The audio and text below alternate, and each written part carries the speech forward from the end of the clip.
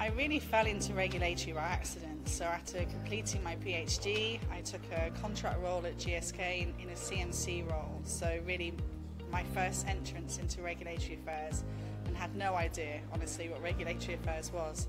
But really loved it and it gave me a sense of the complexity and the breadth of, of roles and the type of um, career opportunities within a research and development uh, group within a pharma company and I love regulatory affairs. I love the the diversity, the different, um, the, the, strategic thinking, the, the tasks, and every day is different. So it's a great career.